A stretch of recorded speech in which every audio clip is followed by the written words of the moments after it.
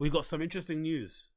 I don't know if I should take this as a form of karmic retribution, which I should, because given the people involved or given the person involved. But I think in this particular case, because I've been in similar situations, not similar situations like this, but because this is maybe um, emblematic of like other issues that I've kind of experienced in dance music, I'm gonna be gracious, not gracious. I'm gonna be non-petty and just say this is sad to hear in the first place. So this is courtesy of River Moon. Um, big up River on Twitter. Um, Twitter account is Kiss Me River, and they tweeted the following: Just experienced the wildest racist shit in the club. We're at this Caribbean party and Juliana Huxtable is playing, and some random white girl and a group of her white twinks pretend to work there and tell her to finish up. So the white girl just plugs in her USB and starts DJing. that is terrible, isn't it? Uh, the one and only Juliana Huxtable and River Moon are there playing back to back, having a great time at a Caribbean party, by the way, which you imagine is full of blacks. And these white people come up and just done their dance and tell them to, hey, Hurry up, man. Get up, get up. Hey, get, they do that thing that a lot of people do sometimes at parties. Where, oh, um, can I plug in my USB? It's like, no, you can't. You fucking fuck. I was booked to play. You're just some random in a crowd. No, you can't just plug in my USB. That's not how it works. So this happens sometimes in some of the bummy lower level gigs that I play where I'm literally playing for drink tokens and 50 pounds at the end of the night. But I didn't think it would happen at their level. These guys are famous.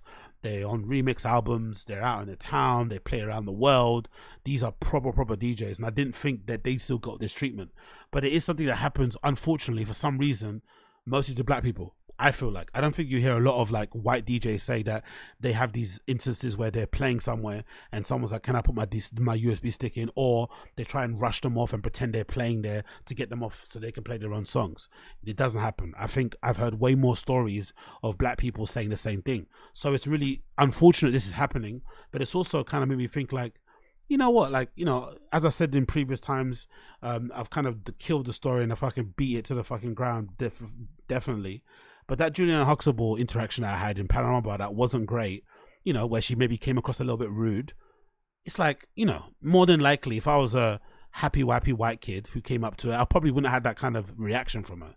So that's really sad because I've seen that happen before, especially in Berlin more so, because I've kind of been around certain kind of, you know, club scenes and shit and what club in the club scene, you get what I mean? And for the most part, if you've been in there, you would know that sometimes like cool black kids have this weird thing when they see another cool black kid. It's almost like a little like you know what I mean? It's almost like a little weird. Like, it's almost like a.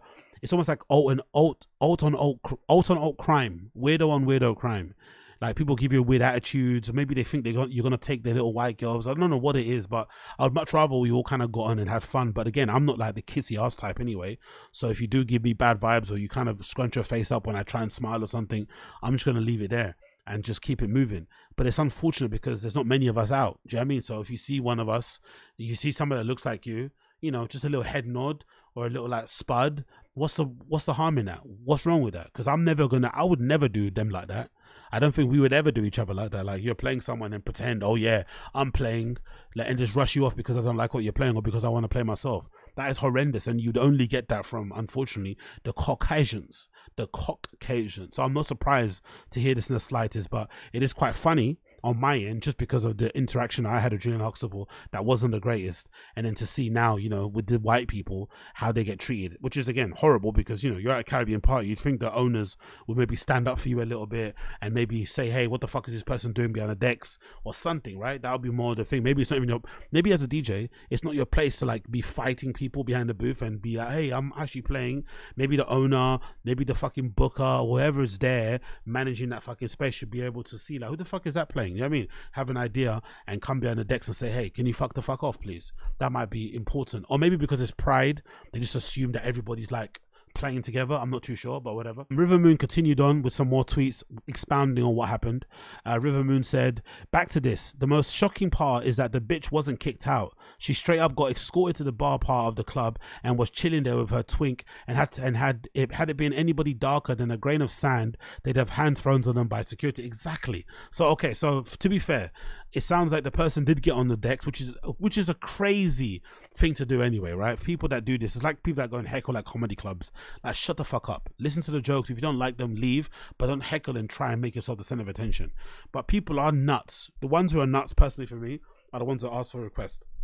I've never in my entire life asked for requests. The most thing I've ever done in a club is tell someone to wheel it back. But I've also never went behind the deck and put my finger back and wheel it back. No, I've asked them, hey, wheel it, wheel it, wheel it, or something. That's all I've done. But I've never gone to someone and said, hey, I see you're playing your own songs. I see you're the DJ. I see you've been hired to fucking you know, provide the fucking soundtrack for this fucking room, but can I ask you to play my song, please? I've never done that. People that do do that, you're a fucking psychopath. You need fucking help, and there's something wrong with you in the head. So the same person that would do that is the same person that would say, "Can I put in my USB?" Like, shut up. Um, it continues on and say, white queers are so emboldened these days. Yet if we get loud or decide that it's time to turn this Zeus network, it's, time, it's time to turn into Zeus network, we, we, we would be the bad guy. Exactly. Chun Li. Shout out to Juliana for pushing through and keep professional. And for the girl and her gay twinks, I hope your Pride Month sucks. And the last tweet, I think we need to start fighting in the club again. Personally, I can't because I'm on probation. But if we need to start throwing hands at people who harass us or take up too much space in a violent way, this is very true. Um, there does need to be a lot more consequences for bad behavior, like fatal, violent you know, consequences where it's like, oh shit, like I can't do that again. Like that video of Bradley Martin in the gym and that kid took the hat off him. Now, of course, maybe the slap was a bit excessive, but he's never going to do that again. He's never going to do that again. Never. Maybe he's someone that looks like him, the same size, but he's never going to go to a grown man and take off his hat. He knows better now. And I think in this particular scenario, you'd hope that that person knew better, but probably not. But again, what River Moon said is true. If a black DJ did this to somebody, if a black DJ, forget if a black person got behind a DJ booth and wasn't known to people around there, you'd be escorted in a minute. No one's letting you even hang around DJ booth just to kind of be around there. People are gonna ask you, do you know somebody? And you have to fucking you know, give your fucking plea of why you should be there because this person's your friend, you know them since school and shit.